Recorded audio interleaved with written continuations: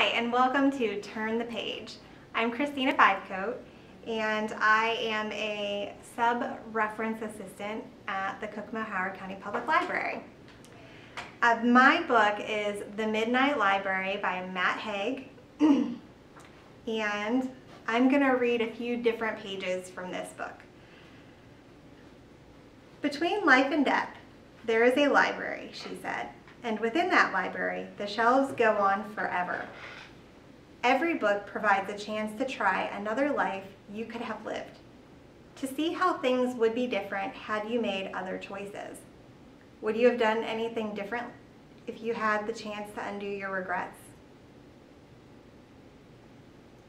Dear whoever, I had all the chances to make something of my life and I blew every one of them. Through my own carelessness and misfortune, the world has retreated from me, and so now it makes perfect sense that I should retreat from the world. Here's a life that she tried on, or a portion of the life of a life that she tried on. She had never imagined she could be like this and tried to memorize what this other Nora was doing, but realized there was no way she, she would be able to. People with stamina aren't made any differently than anyone else. She was saying the only difference is that they have a clear goal in mind and a determination to get there. Stamina is essential to stay focused in a life filled with, with distraction. It is the ability to stick to a task when your body and mind are at their limit, the ability to keep your head down, swimming in your lane, without looking around, worrying who might overtake you. Who the hell was this person?